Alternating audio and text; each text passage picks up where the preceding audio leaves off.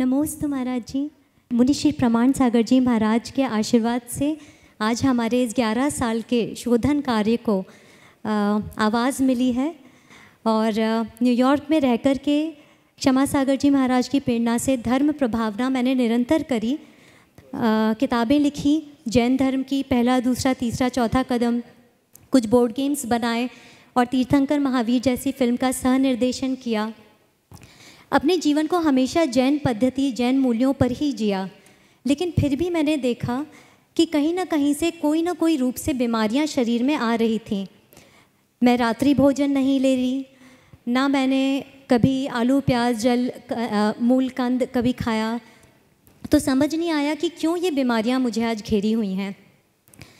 ग्यारह वर्ष के सतत प्रयास से और जितने भी न्यूट्रिशनल साइंटिस्ट हैं, उन लोगों के रिसर्च पेपर्स को स्टडी करके, इस बात की समझ आई कि मैं जैन धर्म के मूल्यों को, जो कि आज स्वास्थ्य के बेसिस पर लिखा गया है, कैसे मैं समझ सकूँ और बेहतर रूप से?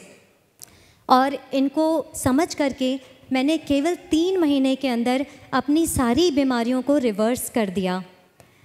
उसके बाद एक प्रोग्राम चालू करा लाइफस्टाइल इंटेलिजेंस करके न्यूयॉर्क में जहाँ पर काफ़ी सारे अमेरिकन इस पद्धति का लाभ ले रहे हैं और ना केवल अमेरिकन सारी दुनिया से लोग जुड़कर अपने स्वास्थ्य को बढ़ा रहे हैं। न्यूयॉर्क में शिफाली जी अजमेरा ने इस प्रोग्राम को किया, स्वास्थ्य लाभ लिया और उन्होंने आगे बढ़कर मुनि श्री प्रमाण सागर जी महाराज से आशीर्वाद दिलाया। महाराज जी ने इस चैलेंज को ग्रहण किया और अपनी एनर्जी लेवल्स अपनी शक्ति को चार से दस गुना बढ़ाया। तो मैं आप सबसे ये प्रश्न करती हूँ, क्या आप लोगों को खाना खाने के बाद में नींद आती है? आराम करने की इच्छा होती है? या कई लोग ये भी कहते हैं कि आज आराम करने का समय ही ना मिला, होता है ऐसा? क्या आप लोग आज इतनी शक्ति रखते हैं कि अपने बच्चों के साथ में दौड़ भाग कर सकें, उनके साथ सॉकर खेल सकें या बैडमिंटन खेल सकें, इतनी एनर्जी है आपके पास?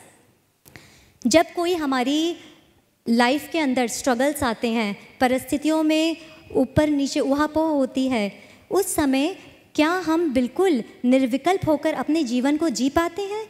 कि बहुत नेगेटिव थॉट से हम घिर जाते हैं टॉलरेंस नहीं होता चिल्ला चोट मचाते हैं और घबराते भी हैं। होता है ये सब हमारे साथ?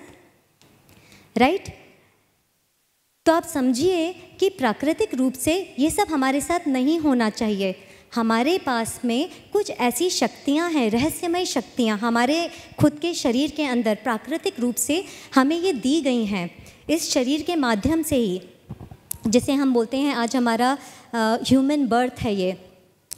डिफ़ॉल्ट सेटिंग में ये हमारे साथ में आई हुई हैं। इस शक्ति को बढ़ाया जा सकता है, समझा जा सकता है, उसका उद्घाटन किया जा सकता है। लेकिन हम अगर उसे एक चांस दें तो। हम लोग जो खाद्य पदार्थ के माध्यम से कार्बोहाइड्रेट्स लेते हैं, उनका जो एंड प्रोडक्ट होता है, वो शुगर होता है। कार्बोहाइड्रेट मतलब क्या? ब्रेड खाई, रोटी खाई, अनाज खाया, इन सब का एंड प्रोडक्ट राइस चावल लिए, इन सब का end product by product sugar होता है। हम रोज़ रोज़ इन कार्ब्स को लेते हैं शुगर हमारे ब्लड में जाता है और फिर हमको एनर्जी मिलती है कि हम सुबह शाम के कार्यों को अच्छी तरह से कर सकें। होता है ना सबके साथ ऐसा? जिस दिन नहीं खाओ, उस दिन बैठे रह जाते हैं। करेक्ट तो इस तरह से हम समझते हैं कि हमारे रोज़ के खाने से हमें एनर्जी मिलती है। लेकिन हमारे शरीर के अंदर एक रहस्यमय शक्ति है, जो रोज़ रोज़ के खाने पर डिपेंडेंट नहीं है।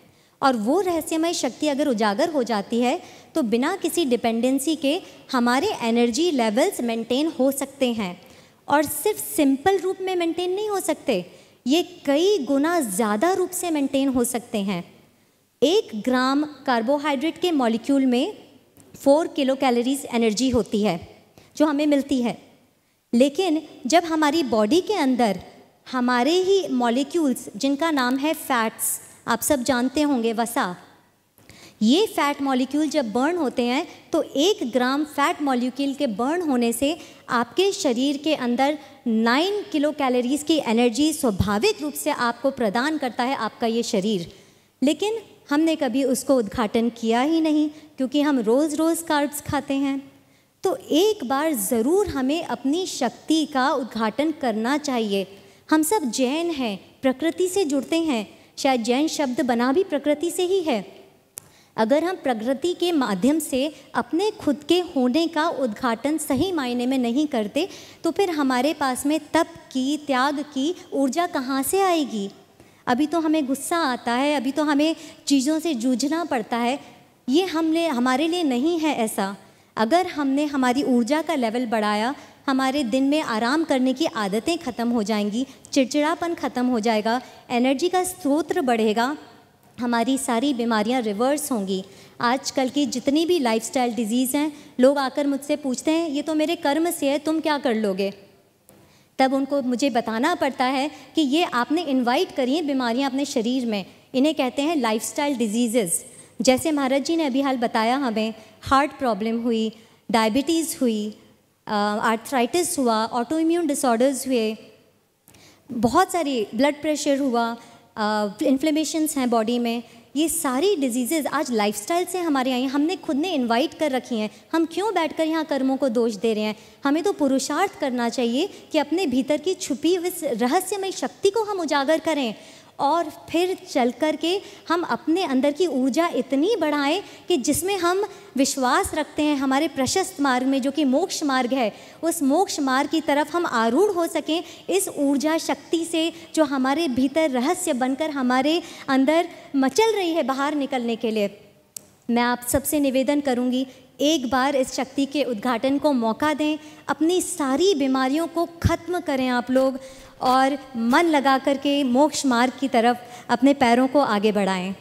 जय जिनेन्द्र।